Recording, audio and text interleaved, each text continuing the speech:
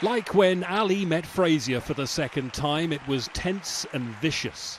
You look at uh, Bill Clinton, far worse, minor words, and his was action. Trump lashed out at Bill Clinton while Hillary played the rope a dope. Trump had been rocked by this tape from 2005 and his description of his treatment of women. Virginia Women for Trump. While Republicans fled, the hardcore were just as loyal, and running mate Mike Pence went to get ice cream. Governor, what's your reaction to Paul Ryan abandoning Donald Trump today? And those for and against had a row about it.